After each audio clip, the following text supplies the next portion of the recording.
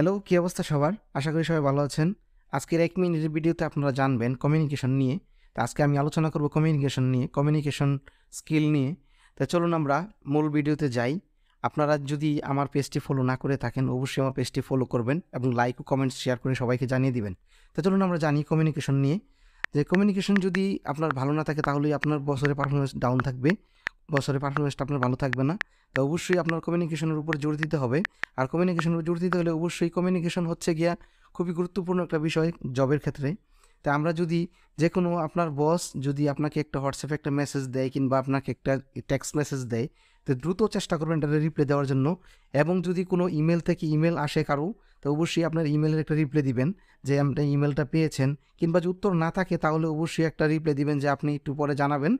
তো অবশ্যই আপনারা বুঝতে পেরেছেন কমিউনিকেশন নিয়ে। অবশ্যই আমার পেজটা ফলো করবেন লাইক করবেন কমেন্টস করবেন শেয়ার করবেন, জানিয়ে দেবেন সবাই